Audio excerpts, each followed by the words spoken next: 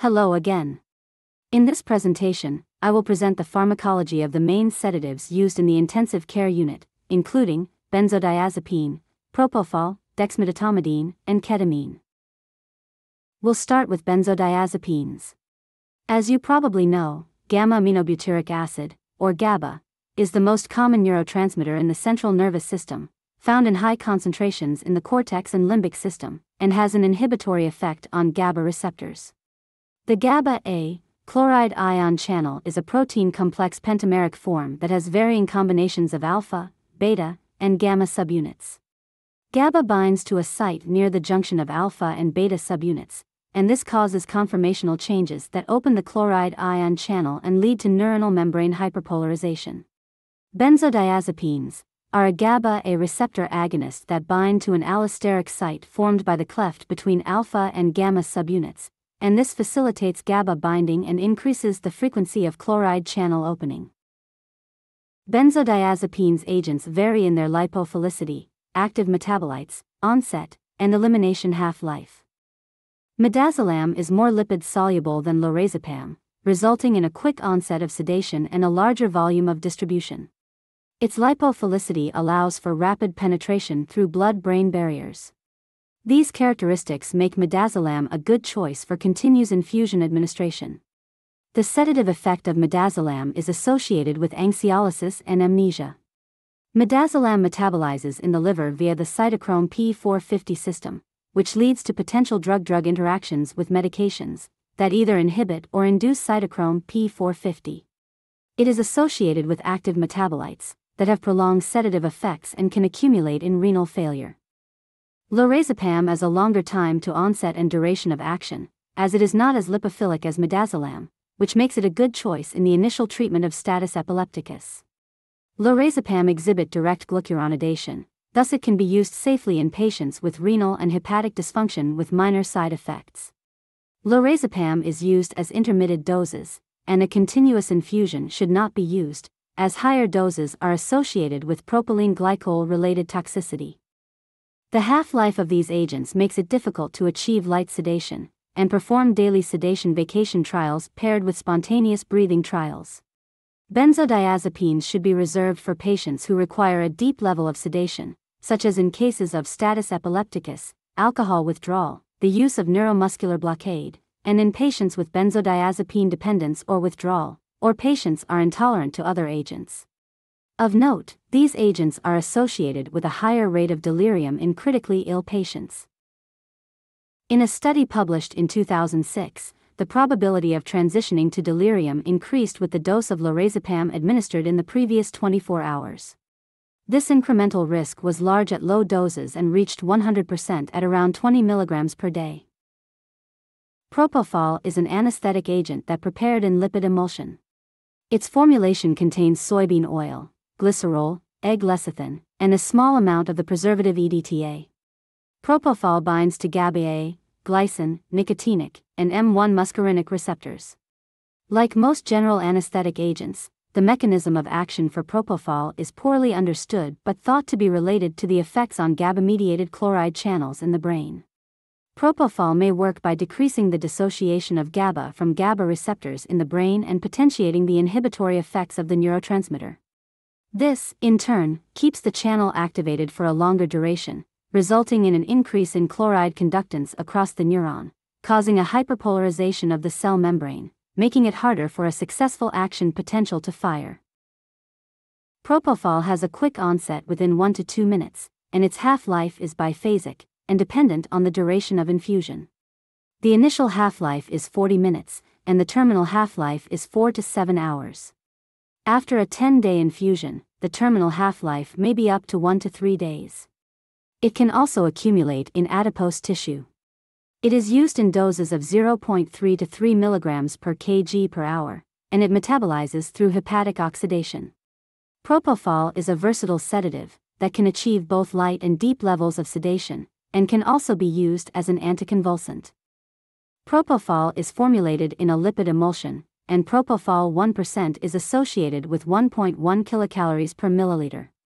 Triglycerides should be routinely monitored in patients to avoid risk of hypertriglyceridemia induced pancreatitis. A typical cutoff of 500 to 750 mg per deciliter is used to transition away from propofol therapy. Main side effects that need to be considered during propofol therapy are bradycardia and hypotension, in addition to a rare but fatal syndrome known as propofol related infusion syndrome or PRIS. Of note, propofol causes a green discoloration of urine. Propofol related infusion syndrome is a rare but yet known side effect of propofol that occurs when high doses used for long duration. It occurs due to alterations in mitochondrial metabolism and electron transport chain function, but the exact mechanism of PRIS is still unknown. It is characterized with hypertriglyceridemia, metabolic acidosis, acute renal failure, cardiac arrhythmias, and rhabdomyolysis. PRIS is a diagnosis of exclusion. Management of propofol related infusion syndrome is the discontinuation of propofol infusion and supportive treatment. Dexmedetomidine is a selective central alpha 2 agonist that exhibits sedative, anxiolytic, and analgesic effects. Presynaptic agonism of the receptors results in a negative feedback loop, which leads to a reduction of catecholamine outflow. Dexmedetomidine does not suppress respiratory drive, so it can be used in non intubated patients. Of note, it does not provide deep sedation, so it should be avoided when RASS score of minus 3 or less is needed. The peak effect of dexmedetomidine is 60 minutes, if given over a continuous infusion. If an intravenous loading dose is used, the onset is 5 to 10 minutes, however incidence of hypotension and bradycardia is increased, so it should be reserved for agitated and hemodynamically stable patients who need rapid effect. Dexmedetomidines half-life is approximately 3 hours. Clearance and plasma protein binding are decreased in patients with hepatic impairment. It has been FDA approved for use in mechanically ventilated and non-intubated patients in ICU, with doses 0.2 to 0.7 micrograms per kg per hour. However, doses up to 1.5 micrograms per kg per hour have been used in the trials. Hypotension and bradycardia are the most common side effects with dexmedetomidine use. Tolerance may develop with prolonged use, in addition to withdrawal, if the infusion is used for greater than 72 hours. Ketamine is a non-competitive NMDA receptor antagonist that blocks glutamine. It produces a cataleptic-like state resulting in dissociation from the surrounding environment, by direct action to the cortex and limbic system. It can be used as an anxiolytic, amnestic, sedative, analgesic, and anticonvulsant. It has a rapid onset of 30 seconds. Its offset in the beta phase is about 2.5 hours. Ketamine's active metabolite, norketamine, is primarily formed by CYP3A4 and is renally excreted so it may accumulate in renal failure. For adverse effects, patients can have an increased heart rate and blood pressure, however, this side effect does not occur in catecholamine depleted patients. Resolution of elevated blood pressure occurs within 15 minutes after peak effect. Prolonged emergence from anesthesia, which can manifest as vivid dreams, hallucinations, and or frank delirium commonly occur. Emergence reactions can occur up to 24 hours after administration.